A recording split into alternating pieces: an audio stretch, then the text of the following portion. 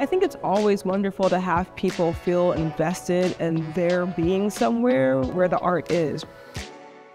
We live in a really complicated time around movement, travel, safety, between the pandemic, between various types of pandemics and inequities, right? That like people often don't think they have access to art spaces when you have performance and you have music and you have these other kind of opportunities to enter a space, right? To understand what's happening inside somewhere. I'm like, it's the best. It allows for art to live in a way that it should, which is, is for the people. Helen's show really is around collaboration. You get to actually belong to the art itself, and the art gets to belong to you, right? It's like an investment in each other.